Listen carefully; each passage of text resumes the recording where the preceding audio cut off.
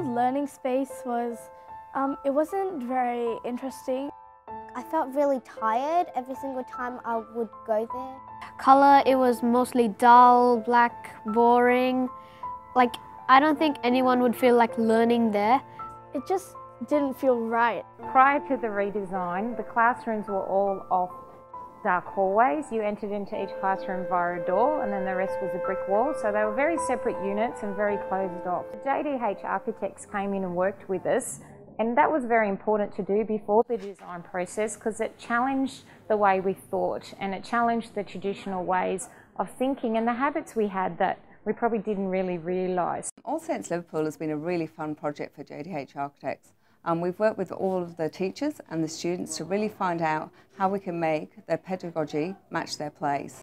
The new learning space, it it's just a better environment for us. The atmosphere is great, just the bright colours, the way it all looks, it just changes your feelings automatically. Like you walk in and you'd be like, okay, a new day of learning. Because we have the open environment as well, the transition between classes is very smooth.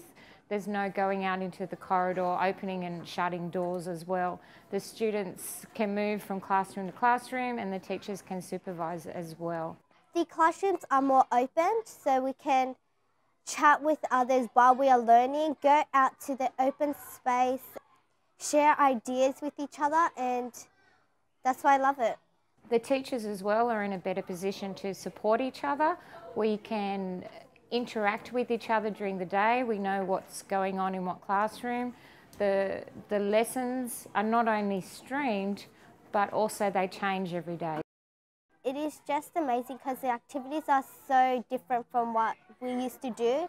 The environment and the table settings meant that because they were much lighter, the students can move them around as well. So they could work by themselves, they could work in a group of two, a group of three, also, a lot of students then could pick and choose where they like to work best. For example, the high table or on the lounge tables or even um, sitting on the floor leaning on the coffee table as well. The chairs are absolutely comfortable. I want to sit there forever.